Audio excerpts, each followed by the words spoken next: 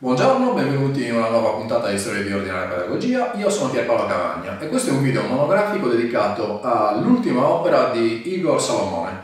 Secondo me, saggio autobiografico sulla consulenza pedagogica. Il libro è edito da Amazon, eh, ha un costo molto basso, 10 euro, il che dovrebbe stimolare alla lettura. È un libro mm, piuttosto piccolo e molto discorsivo però è molto denso, al punto che per questa puntata mi sono sdoppiato in tre, quindi saranno una serie di domande poste direttamente a Igor che si è reso disponibile a fornirci le risposte, fatto con altre due colleghe, quindi vedrete anche la dottoressa Sharon Tiana e la dottoressa Laura Corrias. Poi non so a livello di montaggio come ci vedrete, però saremo noi tre che poniamo domande a Igor. E non so neanche come vedrete Igor perché Igor registrerà in separata sede, causa distanze geografiche e Covid. Quindi questo è il programma della giornata. Buongiorno, innanzitutto voglio ringraziare tutti voi per l'opportunità che mi avete offerto di parlare del mio libro, della mia ultima fatica, dell'ultimo parto pedagogico eh, in ordine di tempo che ha avuto un, un inizio abbastanza travagliato, uscito nel dicembre del 19 voi sapete eh, cosa è successo nel frattempo eh, in tutti questi mesi, certamente non mesi eh, perfetti, ideali per promuovere una pubblicazione e quindi ogni occasione, ogni possibilità che mi viene offerta di poterne parlare è assolutamente gradita.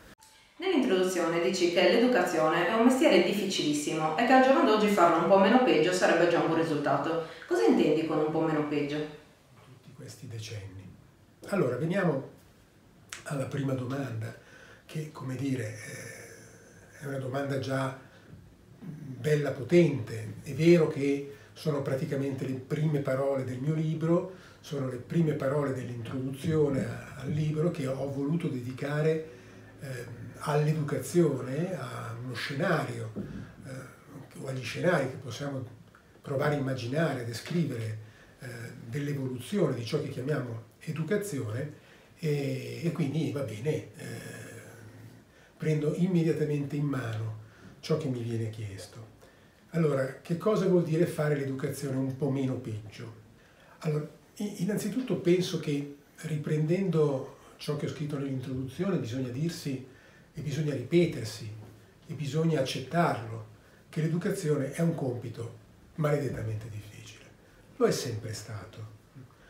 E quando dico sempre, dico sempre nel senso che nella mia prospettiva l'esperienza educativa è coeva all'Homo sapiens, quindi considero le strutture educative, le strutture adattive attraverso le quali l'Homo sapiens eh, si è evoluto eh, da diverse decine di millenni a questa parte. Quindi sicuramente non è mai stata facile l'educazione, ma quello che eh, l'introduzione vuole mettere a fuoco è l'esplosione della complessità dell'esperienza educativa nel nostro mondo, nel mondo contemporaneo. Una complessità eh, che deriva da una molteplicità di fattori, non so, per esempio, l'educazione la fanno tutti, la fanno in molti luoghi, da molte prospettive, attraverso una molteplicità di ruoli e soprattutto tutti questi attori che partecipano all'esperienza educativa di ogni singolo individuo eh, lo fanno non alla vista l'uno dell'altro, come è accaduto per moltissimi millenni in ogni eh, società antica e tradizionale.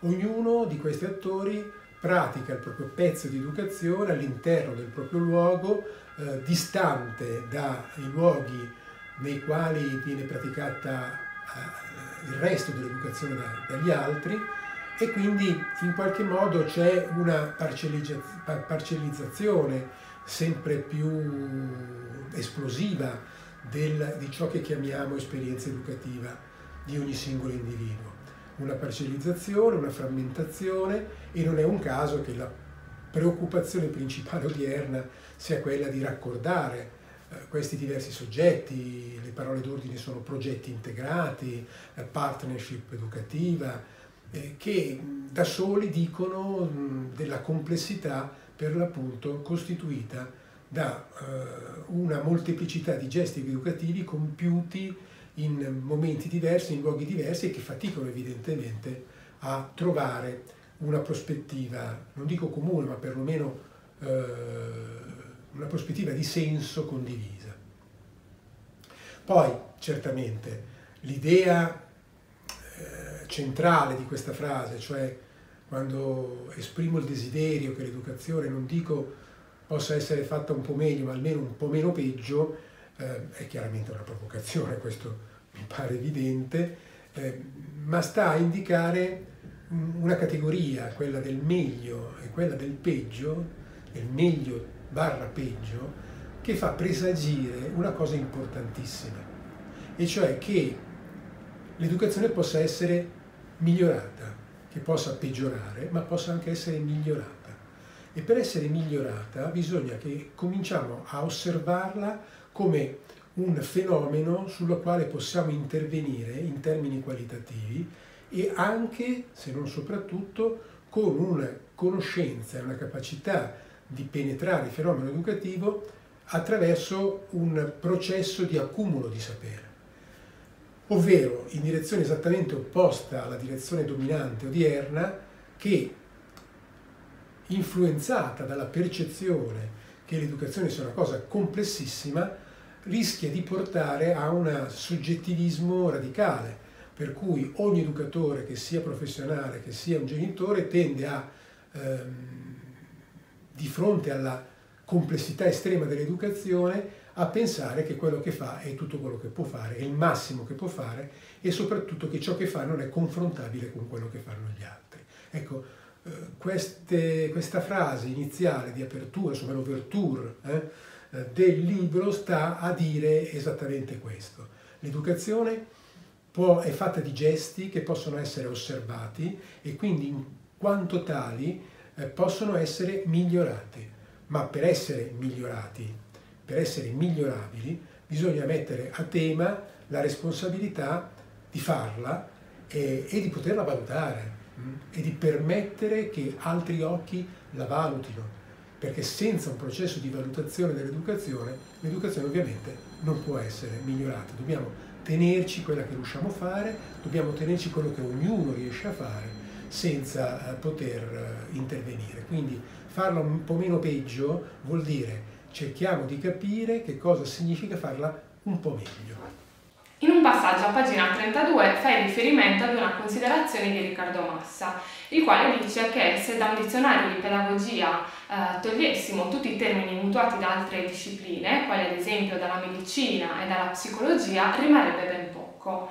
Ad oggi, secondo te, è ancora così o la situazione è mutata? E se sì, perché? Durante una delle conferenze eh, che ho voluto chiamare semiserie sulla formazione, un ciclo che ho tenuto qualche anno fa, ho fatto un esercizio, un gioco, erano conferenze semiserie, quindi giocavo con il pubblico. Ho fatto finta di trovare nella tasca della mia giacca un elenco di bisogni formativi. Era tra l'altro un elenco vero che io avevo in mano, che mi era stato consegnato. Lo leggo e tutti i presenti, tutti educatori e pedagogisti sostanzialmente, annuivano in modo vigoroso perché riconoscevano che i bisogni formativi sono sostanzialmente questi, quelli per l'appunto raccolti in questo foglietto. Finito di leggere il foglietto e di raccogliere i consensi da parte del pubblico, ho svelato l'arcano, cioè che quel foglietto eh, è in mio possesso praticamente da 30 anni. Quel foglietto aveva 30 anni. Questo vuol dire che 30 anni fa l'elenco di bisogni formativi realizzato in quell'occasione da qualche coordinatore, da qualche responsabile, da qualche equip, non ricordo, dopo 30 anni ci troviamo di fronte ai medesimi e le persone li riconoscono come attuali. Quindi già mi pare che questo sia eh, una risposta che potrebbe essere sufficiente a proposito di eh, di un linguaggio pedagogico ancora in qualche modo fermo a, eh, ad una colonizzazione da parte di linguaggi altrui ed estranei. Ma proviamo a fare un'ulteriore prova.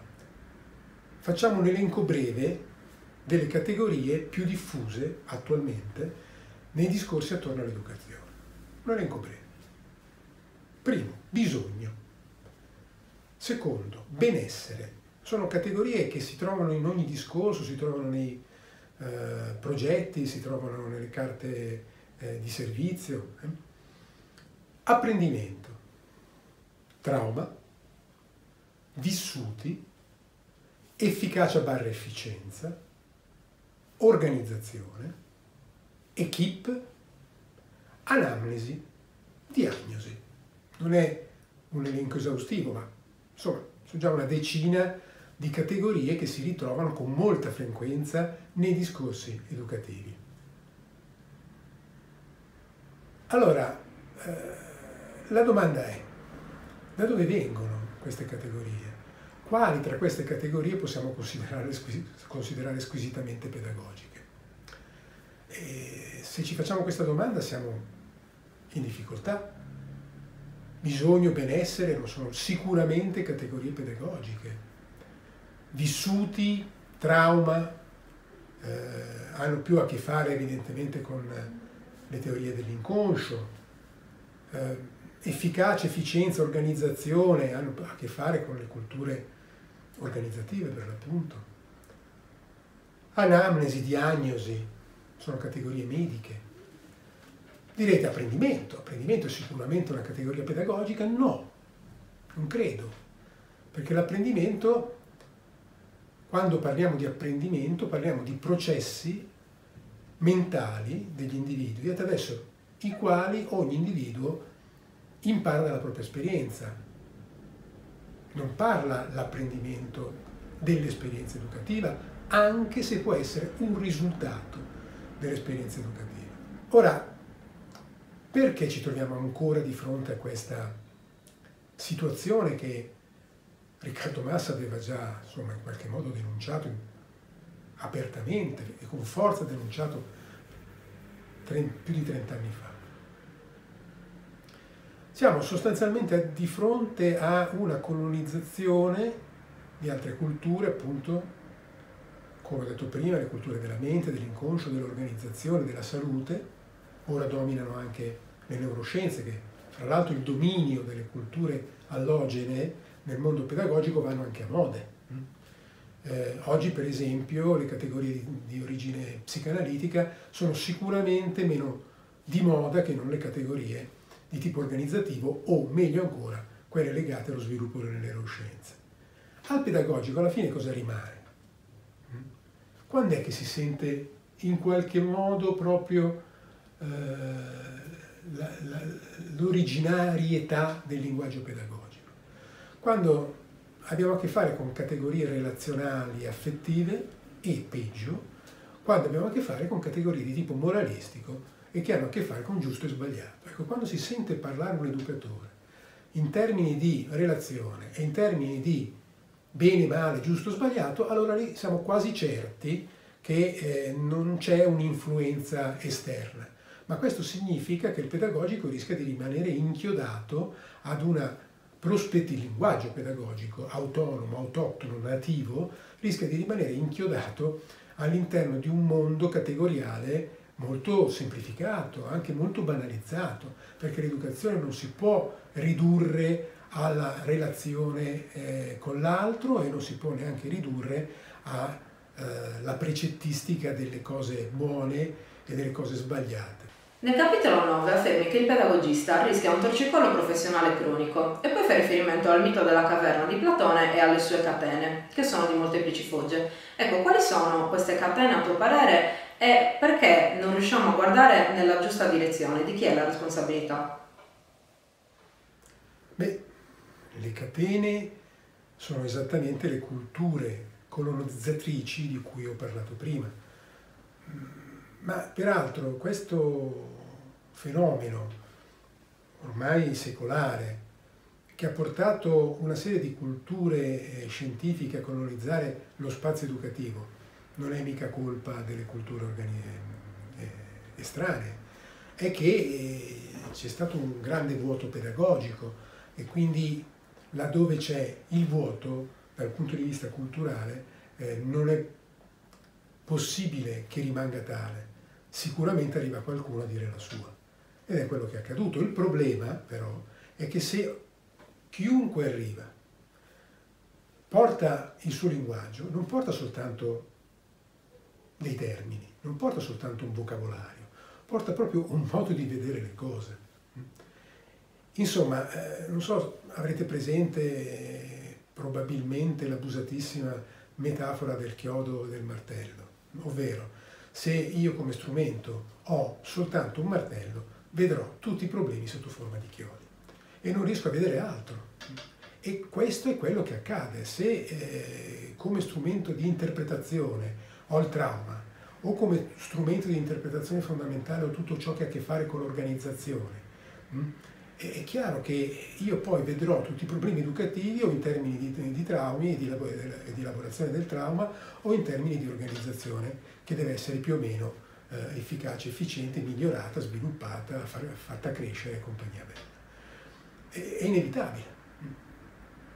Eh, in qualche modo cosa succede? Eh, come in tutte le culture colonizzate, gli educatori eh, si trovano a mimare il linguaggio dei conquistatori che sono più forti culturalmente. È straordinario, per certi versi anche inquietante, eh, scoprire, come faccio io tutti i giorni facendo supervisione e formazione, che quando gli educatori possono liberamente parlare utilizzando il linguaggio che hanno maggiormente appreso nel proprio lavoro, che può essere appunto di tipo organizzativo oppure psicanalitico eh, o quant'altro, lo fanno con molta competenza, con quel fenomeno mimetico per il quale quando veniamo ricoverati in ospedale nel giro di meno di una settimana parliamo il linguaggio del medico e anche quando arrivano i nostri parenti a farci visita parliamo loro col linguaggio del medico. Perché? Perché i linguaggi tecnici fondamentalmente sono affascinanti, eh, sono precisi, parlano di un mondo tutto sommato intellegibile e quando gli educatori sono liberi di parlare con questo tipo di terminologia hanno una competenza linguistica elevata. Quando si trovano a parlare invece del loro specifico, e cioè della quotidianità del gesto educativo eh, sulla scena educativa, rischiano di balbettare perché? Perché non hanno linguaggio e perché sostanzialmente guardano altrove. Non si tratta di vedere la cosa giusta, quindi io non credo che all'ordine del giorno ci sia imparare a vedere la cosa giusta, perché non esiste un modo giusto di vedere un'esperienza educativa, esistono diverse prospettive da cui guardarla. Cioè l'educazione non è proprietà privata del pedagogico, che qualcuno eh, gli ha sottratto. L'educazione è un fenomeno della vita che può essere letta da una molteplicità di punti di vista differenti, può essere vista da una prospettiva sociologica, antropologica, storica, eh, appunto psicologica, medica, può essere vista davvero in, in, moltissimi modi e ognuna di queste prospettive offre eh, sguardi preziosi che non possono essere eh, gettati via, che io non getterei via mai, che frequento anzi con, con, grande, con grande interesse. Per esempio, di sicuro lo sguardo per quanto riguarda i miei interessi antropologico sull'esperienza educativa è uno sguardo che a me eh, attira moltissimo e che frequento molto. Quindi non è che questi modi proposti da altre discipline di guardare l'educazione siano la cosa sbagliata. Il punto è non riuscire a vedere la propria cosa. Mm? È come se un ingegnere riuscisse a vedere eh, un ponte eh, dalla prospettiva storica, dalla prospettiva economica, dalla prospettiva eh, estetica, dalla prospettiva, che ne so io, eh, ambientalistica, ma non riuscisse a vederla dal punto di vista ingegneristico. Voi salireste su un ponte costruito da un ingegnere che non riesce a vedere il ponte in quanto ingegnere? Io non lo so se lo farei. Eppure quello che rischia di accadere nel mondo educativo. Eh, è proprio un problema di sguardi. In una, lo racconto questo sul libro come tante altre cose che mi sono capitate negli anni facendo il mio mestiere, eh, a un certo punto una educatrice di un'equipe molto scoraggiata, devo dire, eh, abbassa le spalle, fa un sospiro e dice ma questa cosa tu ce l'hai fatta vedere già un sacco di altre volte. Perché poi quando ricapita una situazione simile continuiamo a vedere altro, cioè a me, o meglio, continuiamo a non vedere quello che tu ci stai indicando?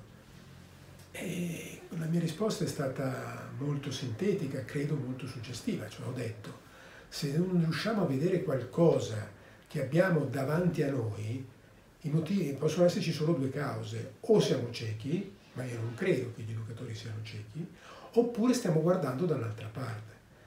Ed è questo che accade. La molteplicità delle culture che parlano di educazione da prospettive le più diverse spingono gli educatori a guardare sempre da qualche altra parte e a non guardare quello che hanno davanti agli occhi. Quello che hanno davanti agli occhi, torno a ripetere, è la scena educativa che calcano, è l'esperienza educativa che producono nell'incontro diretto con gli attori dell'educazione stessa. Quindi qual è il ruolo eh, della consulenza pedagogica in tutto questo? È quello di rimettere al centro la scena educativa, è quella di aiutare eh, chi fa educazione a ruotare il collo, fra l'altro è anche terapeutico per via del famoso torcicollo, ruotare il collo per provare a guardare ciò che hanno tra le mani.